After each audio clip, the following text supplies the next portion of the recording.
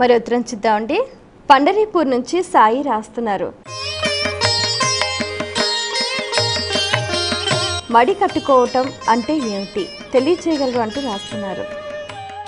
మడి అంటే పొలాలలో పొలాలలో హద్దులుగా ఏర్పాటు చేసేటటువంటి ప్రాంతానికి మడి అని పేరు. వరి మడి అంటారు. పొలం గట్టు దానికి మడి మడులు పొలాల మడులు అంటారు. ఏమిటి అర్థం మడి అంటే నియమానికి హద్దు సముద్రానికి చెల్లెలికట్ట హద్దు మాటకు విరామ చిహ్నం హద్దు ప్రవర్తనకు నియమం హద్దు పంచకు అంచు హద్దు. ఇలా హద్దులతో మనం జీవించాలి. నియమం తప్పి ఉండకూడదు. ఆ నియమానికి సూచన మడి అన్నమాట. కట్టుకునే పంచ కూడా అంచు లేకుండా కట్టుకోకూడదు. స్త్రీలు కూడా అంచు లేని చీర కట్టుకోకూడదు. అదేమిటి అంటే మడి హద్దు. మనం మన సమాధానానికి వచ్చేస్తే కార్పాసమేక రాత్రంచ షట్పటకం పాంచరాత్రకం అని మనకు ధర్మం చెప్తుంది. కార్పాసము నూలుగుడ్డ.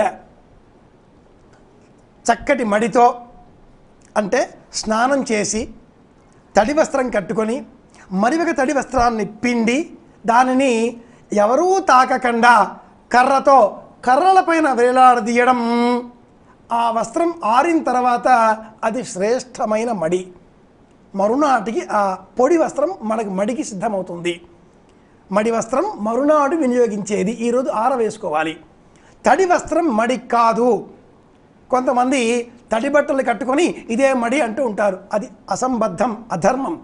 తడి వస్త్రం కట్టుకుంటే వాళ్ళ వివస్త్రలుగానే శాస్త్రం చెబుతుంది. సంపూర్ణంగా వివస్త్రలుగా ఉండకూడదు కనుక శరీరానికి ఒక తడి బట్ట కట్టుకొని వెళ్ళి ఆ పొడి బట్ట కట్టుకోవాలి. పొడి బట్ట కట్టుకుంటే అది మడి. ఇది కాటన్ లేదా నూలు వస్త్రం ఒక్క పూటకి మాత్రమే పనికిస్తుంది. ఉదయం ఆ వస్త్రం కట్టుకొని పూజ చేసి భోజనం చేసి ఆ పిమ్మట భోజనం చేస్తే అది మైల. ఇంకా మనం బయటకు వచ్చేస్తాం. రేపటి కోసం ఈవేళ ఆరవేసుకోవాలి పొద్దున్నే. అలా ఒక్కరోజుకి వచ్చేది నూలు వస్త్రం ఇది శ్రేష్టమైన మడి.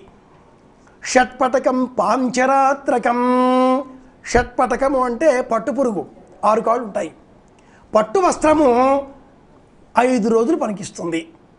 ఆరవ రోజు నాడు దాన్ని ఉతికి ఆరవేయాలి. ఈ పట్టు వస్త్రంతో కూడా భోజనం చేయకూడదు భోజనం చేస్తే పనికిరాదు. మడి అంటే శ్రేష్టమైనది మిగతా వారితో మనల్ని వేరు చేసేది అని అర్థం. అగ్నిశుచు వ్రతమశు చెర్వి ప్రశుచి కవి అంటుంది వేదం. ఈ పట్టుబట్టని కట్టుకునే ముందు ఏడు సార్లు దులపాలి. ఆ వస్త్రాన్ని ఇలా మడిచారు పోయడం అంటారు కుచ్చిళ్ళు పోయడం. మొత్తం వస్త్రాన్ని ఇలా కుచ్చిళ్ళు పోసి దాన్ని దులిపి మూడు సార్లు దులిపి ఆ ముడిని బ్రహ్మముడిలాగా వేయాలి. ఇలా ఆ ముడి వేయడంలో ఇలా లోపల నుంచి తీసి మళ్ళీ ముడి వేస్తారు. అలా వేసిన దాన్ని మేకుకు తగిలించాలి. అలా ఉన్నదానిని మడి వస్త్రము పట్టుబట్ట ఐదు రోజులు పట్టుబట్ట ఐదు రోజులు. వర్ణం ఎరుపు పసుపు నీలం మనకు అభిరుచి కలిగించేది. మనం ఏ దైవాన్ని పూజిస్తామో ఆ దైవానికి అనుకూలంగా ఉండేది.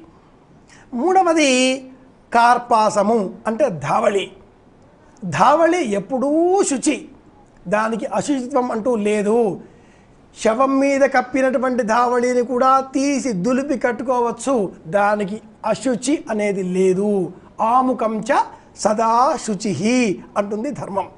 కనుక మడి అంటే ఏమిటి అంటే ఇతర లోకం నుంచి మనల్ని విడి చేసేది వేరుగా చూపించేది నియమంలో ఉన్నాడితడు అని లోకానికి గుర్తు కలిగింపజేసేది.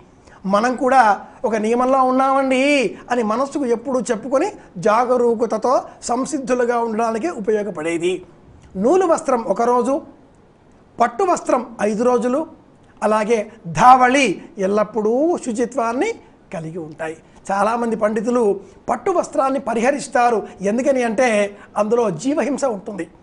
పట్టుపురులను బలవంతంగా నలిపి చంపి దారం తీస్తారు కాబట్టి శ్రేష్ఠులు నూలు వస్త్రాన్నే వాడతారు లేదా ధావళి వినియోగిస్తారు. ఇది మడి అంటే